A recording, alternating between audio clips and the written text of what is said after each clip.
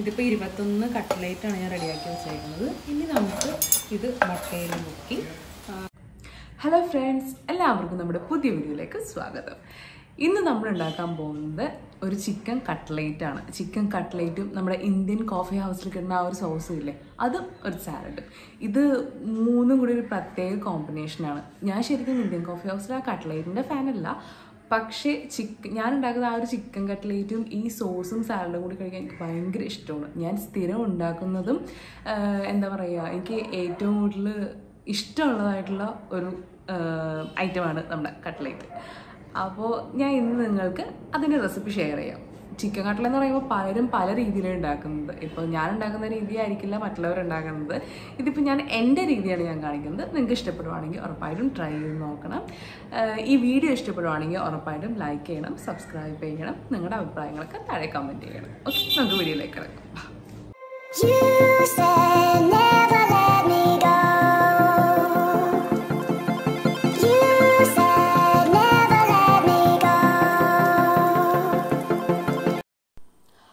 ആദ്യം നമ്മൾ ചിക്കൻ വേവിക്കാൻ പോവുകയാണ് അതിനായി ഒരു പാത്രത്തിലേക്ക് രണ്ട് കപ്പ് വെള്ളം ഒഴിക്കുക. അതിലേക്ക് രണ്ട് ടീസ്പൂൺ ഉപ്പ് മുക്കാൽ ടീസ്പൂൺ കുരുമുളക് പൊടി കാൽ ടീസ്പൂൺ മസാലപ്പൊടി. ഇത് ചേർത്തതിന് ശേഷം അതിലേക്ക് നമ്മൾ എടുത്തു വെച്ചിരിക്കുന്ന ഇരുന്നൂറ്റമ്പത് ഗ്രാം കോഴിയുടെ നെഞ്ചിന്റെ ഭാഗമാണ് ഞാൻ എടുത്തിരിക്കുന്നത്. അത് ആ കഷ്ണങ്ങൾ നമുക്കിതിലേക്ക് ആഡ് ചെയ്ത് കൊടുക്കാം.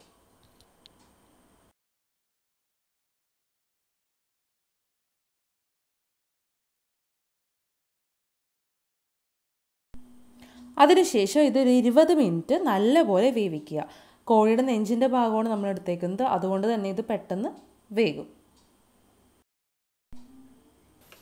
ഇരുപത് മിനിറ്റിന് ശേഷം നമുക്ക് ഒരു സ്പൂണിൽ ഒരു കഷ്ണം എടുത്ത് ഫോർക്ക് വെച്ചോ നൈഫ് വെച്ചോ ഒന്ന് കട്ട് ചെയ്ത് നോക്കാം. ഇത് നല്ലപോലെ കട്ട് ചെയ്ത് വരുവാണെങ്കിൽ അതിനർത്ഥം ഇത് കുക്കായി എന്നാണ്.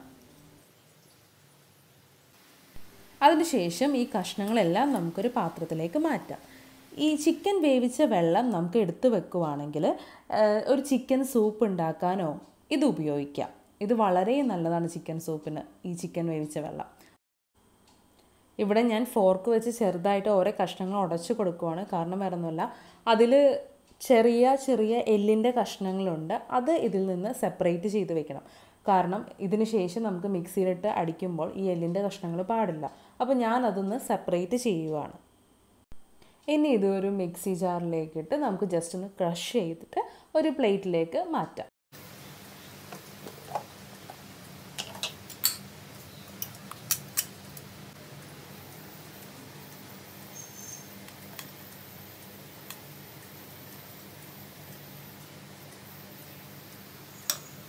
അടുത്തതായി നമുക്ക് ഉരുളക്കിഴങ്ങ് വേവിക്കാം. അതിനായി മൂന്ന് വലിയ ഉരുളക്കിഴങ്ങും ഒരു ചെറിയ ഉരുളക്കിഴങ്ങുമാണ് ഞാൻ എടുത്തേക്കുന്നത്. അത് നടുവേ മുറിച്ച് ഒരു കുക്കറിലേക്ക് ഇടുക. എന്നിട്ട് അതിലേക്ക് രണ്ട് കപ്പ് വെള്ളം രണ്ട് ടീസ്പൂൺ ഉപ്പ് ഒരു കാൽ ടീസ്പൂൺ മഞ്ഞൾപ്പൊടിയിട്ട് നമുക്ക് രണ്ട് വിസിലോടുകൂടെ വേവിക്കാം.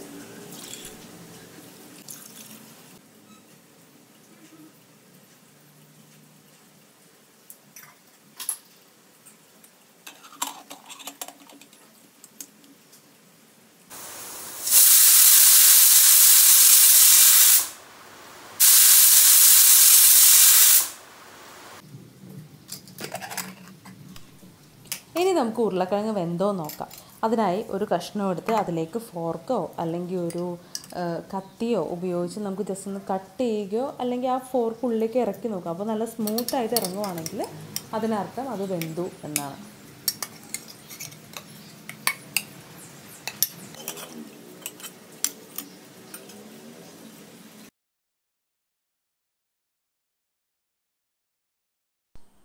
ഇനി നമുക്ക് ഈ ഉരുളക്കിഴങ്ങിന്റെ തൊലിയൊക്കെ കളഞ്ഞ് ഒരു ബൗളിലിട്ട് പതിയെ ഉടച്ചെടുക്കാം.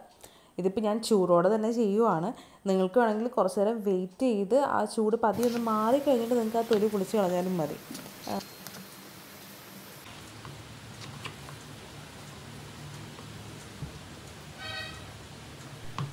അടുത്തതായി നമുക്ക് വേണ്ടത് അഞ്ച് സവാള മൂന്ന് പച്ചമുളക് കുറച്ച് വെളുത്തുള്ളി ഒരു രണ്ട് ചെറിയ കഷ്ണം ഇഞ്ചി ഉള്ളി. ഇവ നമുക്ക് ചോപ്പറിലിട്ട് ഒന്ന് അരിഞ്ഞെടുക്കാം.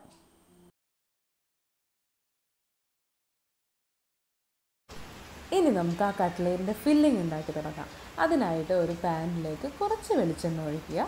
ഇതിലേക്ക് നമ്മുടെ അരിഞ്ഞു വെച്ചിരിക്കുന്ന ഇഞ്ചി ആദ്യം ചേർക്കുക. ഒരു രണ്ട് മൂന്ന് സെക്കൻഡ് കഴിയുമ്പോൾ വെളുത്തുള്ളി ചേർത്ത് കൊടുക്കുക.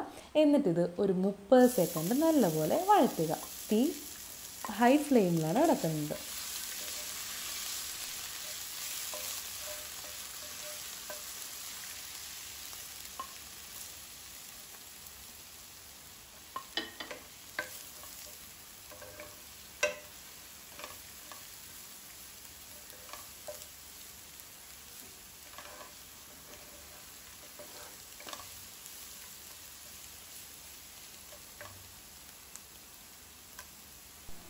ഇനി ഇതിലേക്ക് അരിഞ്ഞു വെച്ചിരിക്കുന്ന ഉള്ളിയും സവാളയും ചേർത്ത് നല്ലപോലെ വഴറ്റുക.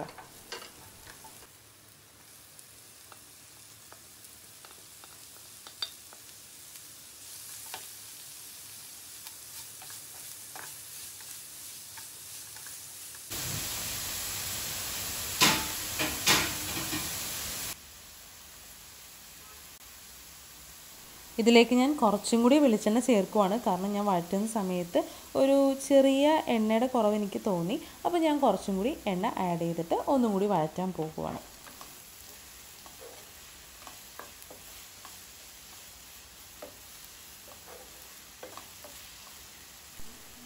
അതിലേക്ക് അരിഞ്ഞു വെച്ച പച്ചമുളകും കൂടി ചേർത്ത് നല്ലപോലെ ഇളക്കാം.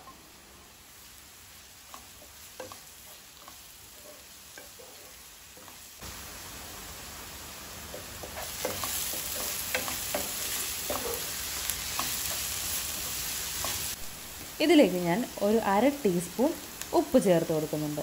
നിങ്ങൾക്ക് വേണമെങ്കിൽ സവാള ആഡ് ചെയ്ത സമയത്ത് തന്നെ ആ ഉപ്പ് ചേർക്കാവുന്നതാണ്. ഉപ്പ് ചേർക്കുമ്പോൾ നല്ലപോലെ വഴണ്ട് കിട്ടും സവാളയൊക്കെ.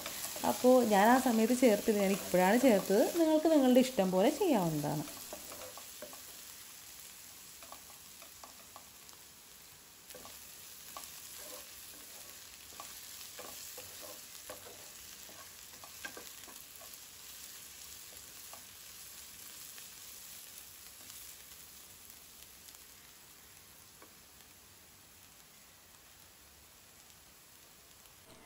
സവാളയൊക്കെ നല്ലപോലെ വഴണ്ട് കഴിയുമ്പോൾ അതിലേക്ക് ഒരു കാൽ ടീസ്പൂൺ മഞ്ഞൾപ്പൊടി കാൽ ടീസ്പൂൺ മല്ലിപ്പൊടി കൂടാതെ രണ്ട് ടീസ്പൂൺ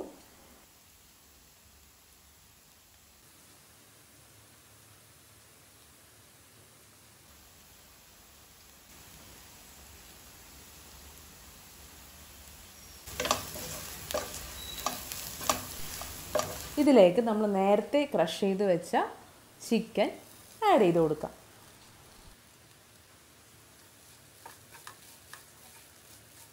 എന്നിട്ട് നല്ലപോലെ ഇളക്കുക.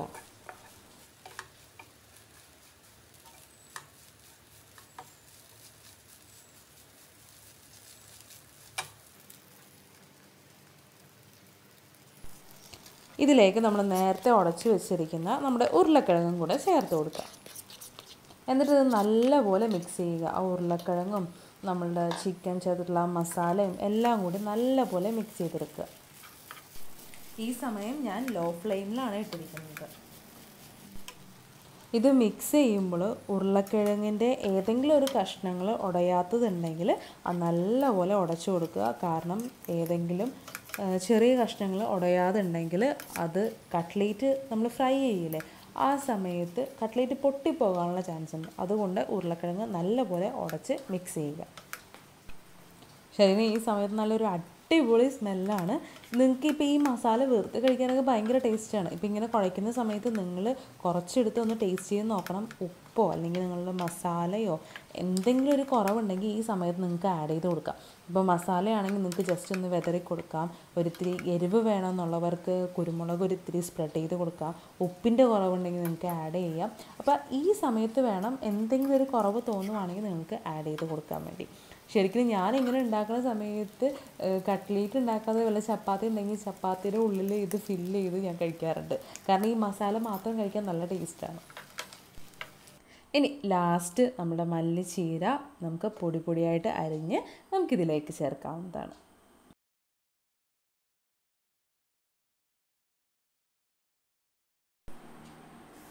ഇനി ഒരു ബൗളിൽ മൂന്ന് മുട്ട അതിലേക്ക് ഒരു ടീസ്പൂൺ ഉപ്പ് ഒരു അര ടീസ്പൂൺ കുരുമുളക് പൊടി ചേർത്ത് നമുക്ക് ഒന്ന് ബീറ്റ് ചെയ്യാം.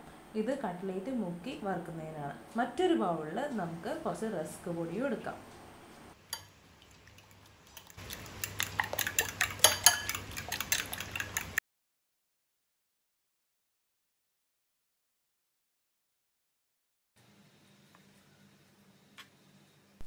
ഇനി നമുക്ക് ഈ മസാലയിൽ നിന്ന് ഒരു സ്പൂൺ മസാല എടുത്ത് നമുക്ക് ഉരുളകളാക്കി ഒരു പ്ലേറ്റിലേക്ക് മാറ്റി വയ്ക്കാം. നിങ്ങൾക്ക് റൗണ്ട് ഷേപ്പിലോ ഓവൽ ഷേപ്പിലോ ചെയ്യാവുന്നതാണ്.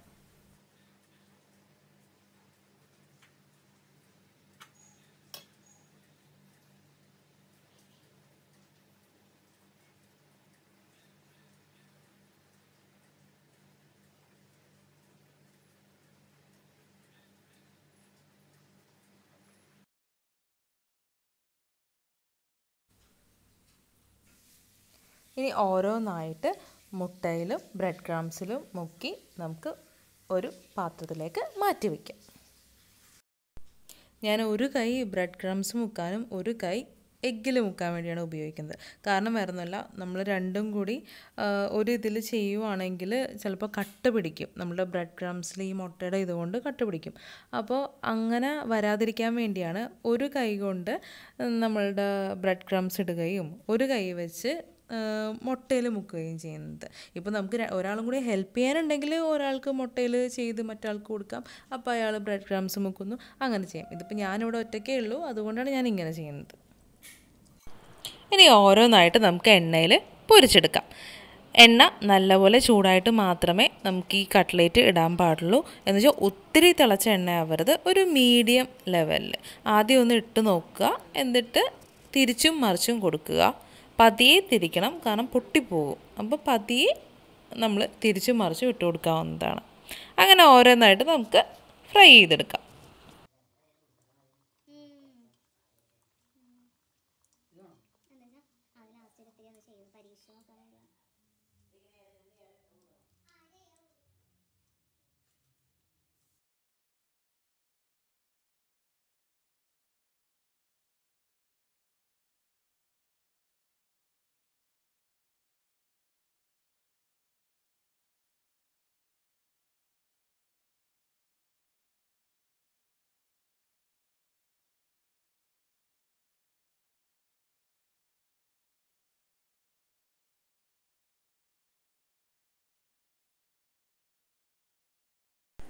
അങ്ങനെ നമ്മൾ ചിക്കൻ കട്ട്ലേറ്റ് റെഡി ആയിട്ടുണ്ട്. ഇതിന്റെ ഒപ്പം ഞാനൊരു ബീട്രൂട്ട് സോസും ഒരു സാലഡുമാണ് ഉണ്ടാക്കിയേക്കുന്നത്. ഇതൊരു അടിപൊളി കോമ്പിനേഷനാണ് നിങ്ങൾ ഉറപ്പായിട്ടും ട്രൈ ചെയ്ത് നോക്കണം. എന്നിട്ട് നിങ്ങളുടെ അഭിപ്രായങ്ങളൊക്കെ താഴെ കമന്റ് ചെയ്യണം. അപ്പോൾ ബീട്രൂട്ട് സോസിന്റെ വീഡിയോ ഞാൻ അടുത്ത വീഡിയോയിൽ കാണിച്ചു തരാവേ. അപ്പോൾ അടുത്ത വീഡിയോയിൽ കാണുന്നതുവരെ എല്ലാവർക്കും ബായ്